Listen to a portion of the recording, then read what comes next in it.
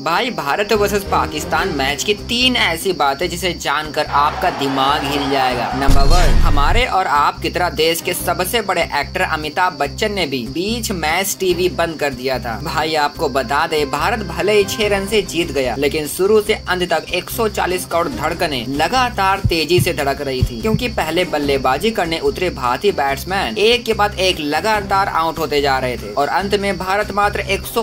run पर ढेर हो गया था जिसके इसके बाद 90 परसेंट जनता टीवी ऑफ करके भाग गई थी जिसमें अमिताभ बच्चन भी शामिल थे बिग बी ने बुमराह का फोटो लगाकर ट्वीट करके ये जानकारी दी नंबर टू भारत वर्ष पाकिस्तान मैच में रिकॉर्ड की झड़ी लग गई भारत ने टी वर्ल्ड कप में एक टीम खिलाफ सबसे ज्यादा जीत दर्ज करने का रिकॉर्ड अपने नाम कर लिया दो